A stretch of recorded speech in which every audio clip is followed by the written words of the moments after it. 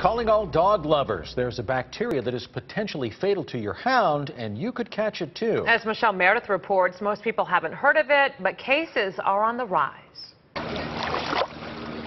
In the list of bad things that can get your beloved dog, we know about rabies, parvo, but have you ever heard of Lepto is a leptospirosis is a bacteria that's carried in the wildlife population, and it's something that they shed in their urine. Why haven't you heard about it?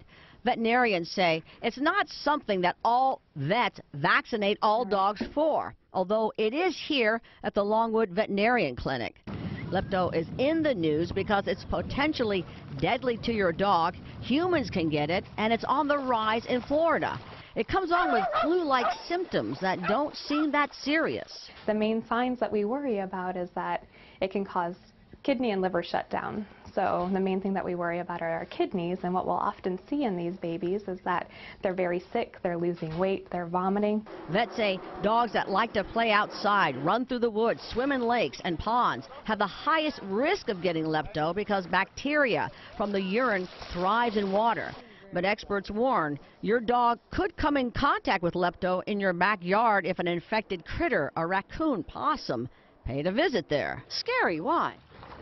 Hey, it's part of the family, you know. At Fleet Peeples Park, some dog owners we talked to knew all about lepto. Others did not, like Rocky's dad. Anything ever happens to him, it'd be devastating for some kind of bacteria in the water that I wasn't aware of. What should you do?